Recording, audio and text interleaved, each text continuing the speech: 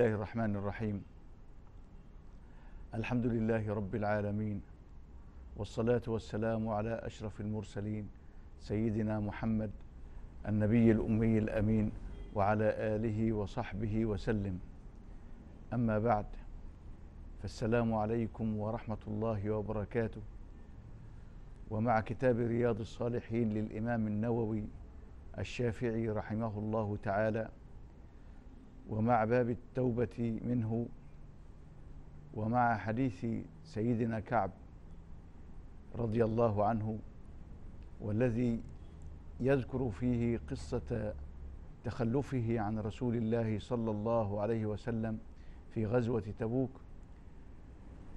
وقصة توبته عن هذا التخلف في هذه الغزوة.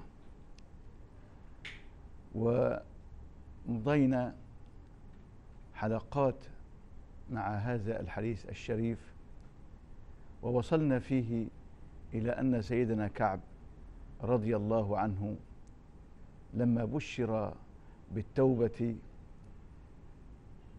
من صحابة رسول الله صلى الله عليه وسلم أقبل على رسول الله صلى الله عليه وسلم ووجده بين القوم ووجهه يبرق من السرور صلى الله عليه وسلم. وقال له أبشر يا كعب بخير يوم مر عليك منذ ولدتك أمك. وسأل سيدنا كعب رسول الله صلى الله عليه وسلم عن هذه البشرى أهي اجتهاد من رسول الله صلى الله عليه وسلم أم هي وحي من الله؟ فأخبره رسول الله صلى الله عليه وسلم بأنها وحي من الله. ولذلك قال سيدنا كعب أمن عندك يا رسول الله؟ أم من عند الله؟ فقال صلى الله عليه وسلم لا بل من عند الله عز وجل. ثم من شدة فرح سيدنا كعب رضي الله عنه بقبول هذه التوبة أراد أن ينخلع من ماله تطوعا وتبرعا وصدقة للمسلمين. فقال لرسول الله صلى الله عليه وسلم لما جلس بين يديه يا رسول الله إن من توبتي أن أنخلع من مالي صدقة. وهذا منه رضي الله عنه تقديم الشكر لله عز وجل على قبول التوبة. والإنسان عندما يرتكب ذنبا ثم يعلم بأن الله سبحانه وتعالى قبله منه فإنه بلا ريب يكون في فرح شديد. وهذا القبول قد ثبت هنا بوحي من الله تعالى. فقال سبحانه وتعالى لقد تاب الله على المؤمنين ثم قالوا على الثلاثة الذين خلفوا فالتوبة هنا ثابتة بنص القرآن الكريم وهي معلومة القبول. وبناء على ذلك للإنسان أن يفرح الفرح الشديد العظيم. ونحن عندما نرتكب الذنوب إنما تكون التوبة إنما هي رجاء من الله سبحانه وتعالى. لكن لا يقطع أحد بأن الله سبحانه وتعالى قد قبل منه ولا يعلم. لكن الظن الحسن بالله سبحانه وتعالى كما أخبر الشرع الشريف هو الذي ينبغي أن يكون مهيمنا على الإنسان في هذه الحالة فعمل الإنسان بين الرجاء والخوف على الدوام. رجاء القبول والخوف من عدم القبول. عمله يدور بين ذلك بين هذا وهذا. لكن سيدنا كعب على غير ذلك في هذا الموقف العظيم فإنه قد علم يقينا بأن الله سبحانه وتعالى قد قبل توبته. ولذلك من شكر هذه النعمة نعمة القبول من شكرها أن يقدم طاعة أخرى لله عز وجل فوق طاعة التوبة. والتوبة طاعة والتوبة عبادة. بل هي من أجل العبادات. وربما كانت هي من أكثر الطاعات ثوابا عند الله سبحانه وتعالى رب معصية يرتكبها الإنسان فتجعله في ذل وانكسار. لله عز وجل تكون أفضل من طاعة آه، لله عز وجل تورث وتؤدي بالإنسان إلى الاستكبار. وعلى كل حال أيها المشاهد الكريم فسيدنا كعب رضي الله عنه إنما أراد أن يقدم طاعة أخرى. ما هي هذه الطاعة الأخرى التي أراد أن يقدمها؟ قال إنه يريد أن ينخلع من ماله. علامة على صدق هذه التوبة التي وفقه الله سبحانه وتعالى إليها.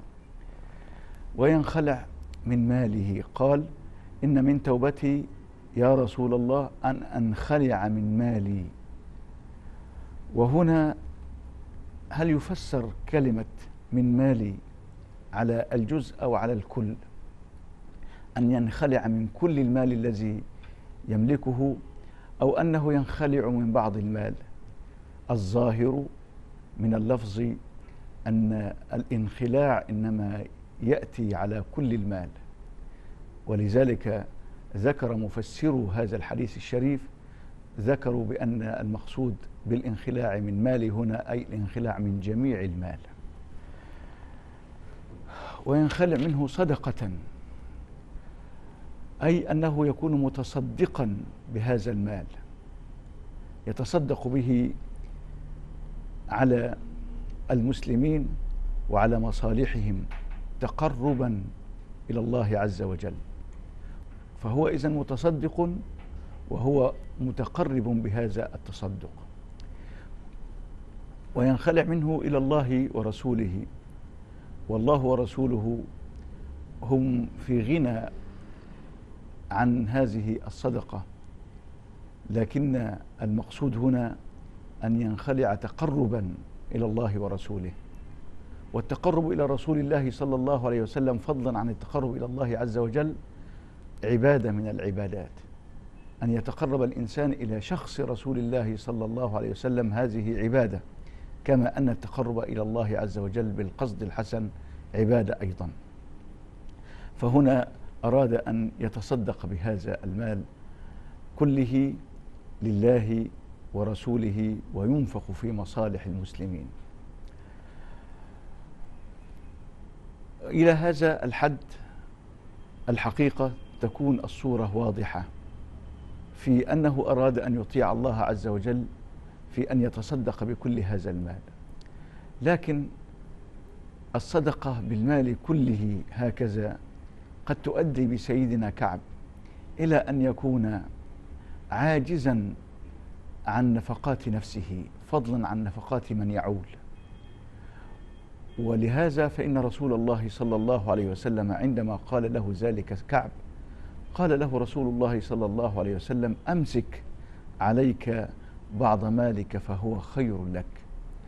أي لا تتصدق بكل المال وإنما تصدق بجزء من المال وأبقي لك بعض المال حتى تستعين بهذا الباقي على أمور حياتك على نفقة نفسك وعلى نفقة ولدك وعلى نفقة زوجك.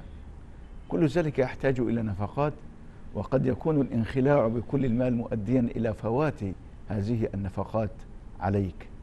فمن الأولى في هذه الحالة أن تمسك عليك بعض مالك.